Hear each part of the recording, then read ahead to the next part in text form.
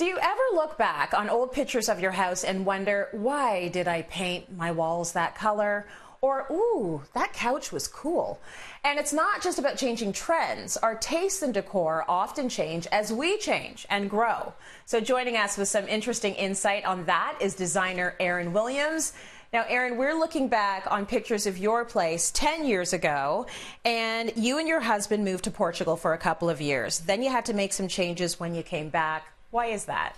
Well, the main reason we had to make some changes is that while we were gone, there were three families that were renting the house from us in, in succession. So a few things got a bit worn. And one of the main things that really did not survive was that fantastic fuchsia sofa, which was originally a vintage piece I'd found in a great corduroy. And it just didn't make it once it was reupholstered in that lovely pink color. It didn't survive all the kids jumping on it and using it as a trampoline, so we had to change it up. So luckily, I found a fabric that would be just as durable, and we actually went back to corduroy. So the new sofa is a fantastic burnt orange. It's very, very clean and crisp lined. It's actually the Vera from my collection at Hudson's Bay, but it's super comfortable. And basically, it's the camp for the dogs. It's where they sit and look out the window and watch the world go by. Now, just to talk a little bit about collections, uh, I know David, your husband, loves his albums, and those have really grown over the years. So you had to accommodate for that somehow. Sure. Storage is a big deal in our house. And listen, I'm the one that collects a lot of stuff, but in reality, David has hundreds and hundreds of albums. Once we first moved into the space, we had a, a unit that was literally two doors, and that held just a couple of hundred. We had to get a second IKEA unit. Was luckily 10 years later they were still making it. And it was a three-door unit, and now that holds probably close to 650, 700 albums in it. And uh, actually, which I love because every single night it's basically a disco in our house. That is my kind of house. When we can get back to visiting people I want to come to your party. Okay, the other thing I noticed about your space is you've got beautiful tables, side tables. They're all different. Yeah, the side tables are all different, and really that works in this space because I think of them like sculpture. So I know people get really hung up on every single thing matching, matching the same finishes, matching the same details. But if you go the opposite way and bring in pieces that have a lot of personality, each on their own, then they'll totally survive. So as long as it holds a cocktail, it's doing the job, right? I want to go back to the coffee table uh, for a moment there. Tell us a little bit about that.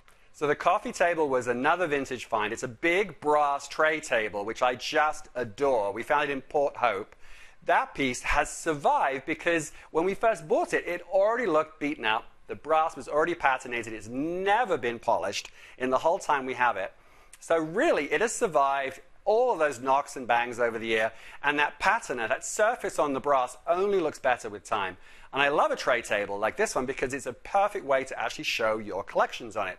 So I have so many bits and bobs throughout the house. I am literally on a weekly basis pulling things, changing little tablescape here, and always bringing in new things that I can show there, and just pieces that I love that I want to be able to see rather than having them away in a cupboard. Well, from our vantage point, we're seeing the backs of those chairs and they look so gorgeous. They fit so well in your space. So, what can you say about the chairs in your space now versus 10 years ago? So 10 years ago, I found some vintage aluminum office chairs and had them reupholstered in a really punchy turquoise velvet, which worked so well in the space, but it was time for a change. They had actually survived, but I wanted something that was a bit larger and a bit more comfortable. So now these are the Nancy chairs.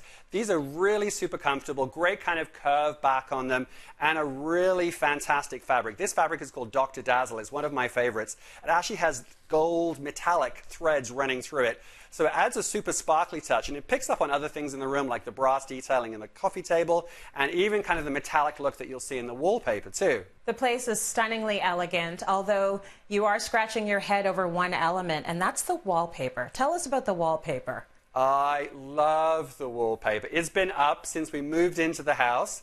And for us, it's just part of everyday life. We've got art walls up against this, even though it's a strong, strong pattern and it really, really works. And I like the fact that it actually has a mid-tone metallic in it. But being a designer, I still want to change things up.